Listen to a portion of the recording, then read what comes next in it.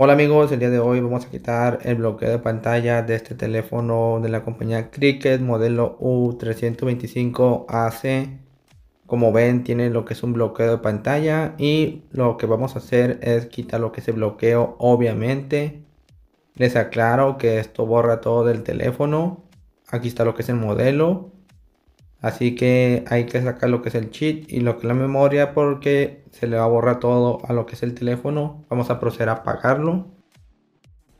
Vamos a proceder a presionar lo que es el botón volumen arriba y el botón de encendido durante unos segundos.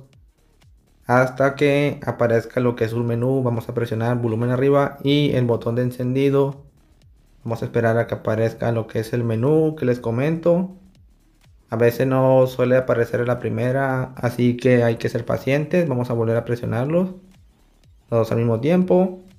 Lo presionamos y tienen que aparecer unas letras en blanco. Aquí están. Ahora vamos a ir con volumen hacia arriba hasta la opción número 1, la que dice Recovery. Y vamos a confirmar con botón volumen abajo. Una vez que le demos a volumen abajo va a salir lo que es un Android acostado. Aquí presionamos el botón de encendido y rápidamente volumen arriba y lo soltamos. Aquí le damos donde dice WIP Data y donde dice WIP Caché le damos al botón de encendido. Aquí le confirmamos. Esperamos a que se haga el proceso. Luego vamos hacia abajo donde dice WIP Caché. Le damos al botón de encendido otra vez. Le damos en sí Esperamos a que se haga el proceso. Y aquí simplemente le damos a lo que es la opción número uno. El teléfono se va a reiniciar. Obviamente se va a formatear. Va a tardar de un minuto, minuto y medio en encender.